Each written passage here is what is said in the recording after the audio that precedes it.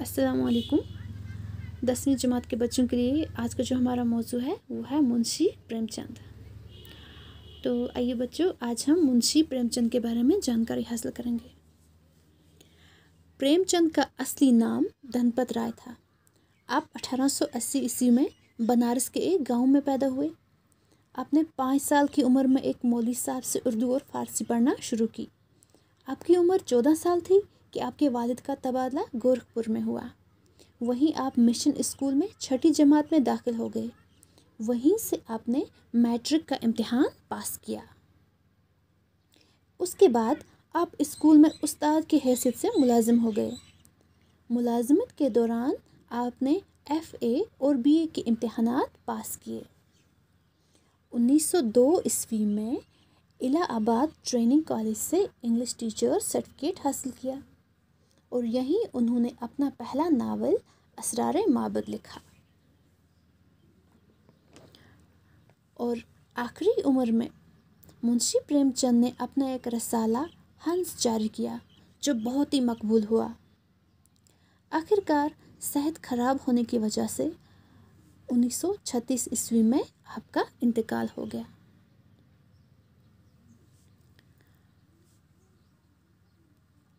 ठीक है बच्चों? बच्चों, याद रखना कि उर्दू के पहले अफसाना निगार प्रेमचंद हैं।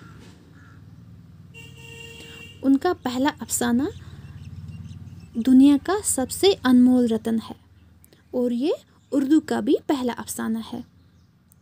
ठीक है बच्चों?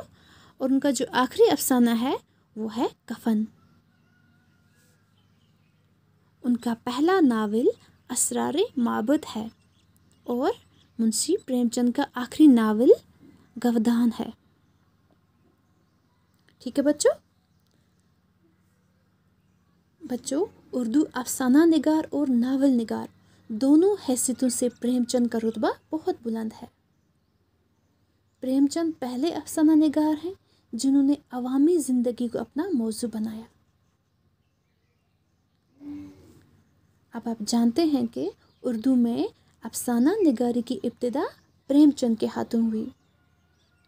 उनके कई अफसानवी मजमूए शाया हुए, जिनमें सोज़ वतन, प्रेम पचीसी और फानूस ख्याल काबिल ज़िक्र हैं।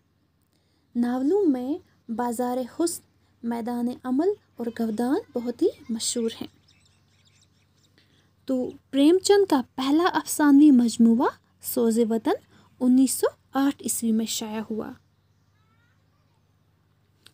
और उनका आखिरी अफसानवी मजमूआ वारदात है। ये मजमूआ उन्नीस सौ सैंतीस ईस्वी में प्रेमचंद के इंतकाल के बाद शाया हुआ। ठीक है बच्चों? अब हम प्रेमचंद के कुछ मशहूर अफसाने देखेंगे। कौन कौन सा है? प्रेमचंद के मशहूर अफसाने हैं कफन बड़े घर की बेटी, गिली डंडा, दूध की कीमत, वारदात, आखिरी तोहफा, नमक का दारोगा।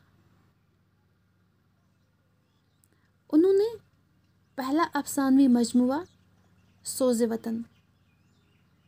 सोज़ वतन को नवाब राय के नाम से शाया किया, जिसको अंग्रेज़ी हुकूमत ने जब्त कर लिया था। इस मजमूए में शामिल पाँच अफसाने हैं। जिनका मौजू वतन परस्ती और आज़ादी का जज्बा है। अगरचा प्रेमचंद ने अमली तौर पर सियासत में हिस्सा नहीं लिया, लेकिन उनके अफसानों में सियासत का अंसर साफ़ साफ़ दिखाई देता है। उनके नज़दीक उनका सबसे बड़ा मकसद माशरती असलाह और अवामी ज़िंदगी के हालात को सामने लाना है। तो बच्चों, ये थी प्रेमचंद के बारे में जानकारी। आज के लिए इतना ही। अल्लाह हाफिज़।